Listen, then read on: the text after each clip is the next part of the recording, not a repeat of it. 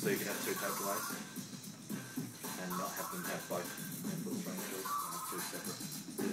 That sort. I also want to do like have to have a look at app tradition. Ah, Killed it.